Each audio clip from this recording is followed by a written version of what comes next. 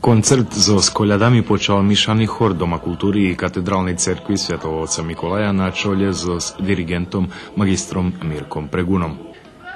Na koncertu nastupila i vironaučna grupa školjaroh, ktorú pririchtali šestri služebnici neporočnej Divi Mariji. Najmladší keresturci za perši deň kračuna vyvedli scénsky prikaz Roždestvo. To už dosť roky, ako organizujeme to tradicijný kračunský koncert, na ktorým nastúpajú naša sekcii vieronaučnej grupy i každého roku voláme da jedno naše družstvo, e, že by nám bolo host. Pod rukovoditeľstvom Juliana Ramača zo Skoľadami na koncertu nastúpili i ženská i Mišana Žridlova grupa Doma kultúry a koncert zakončali hostci zo Nového sadu, chor Hreku-katolickej parochii svätých apostolov Petra i Pavla i Ruského kultúrneho centru Harmonia.